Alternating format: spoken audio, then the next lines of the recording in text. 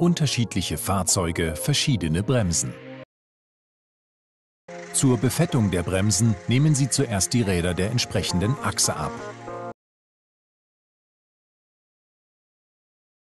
Demontieren Sie die Bremssättel und Beläge. Dann reinigen Sie die Anlage.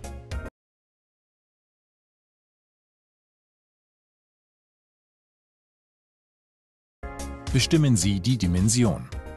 An diesem Fahrzeug der Baureihe 253 sind auf der Hinterachse Bremsscheiben der Dimension 320 x 24 montiert.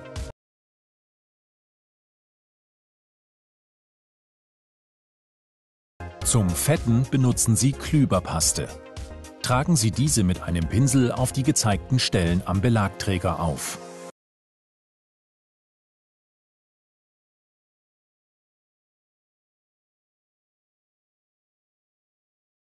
Die Finger am Kolbengehäuse und die Gehäusekante müssen ebenfalls geschmiert werden.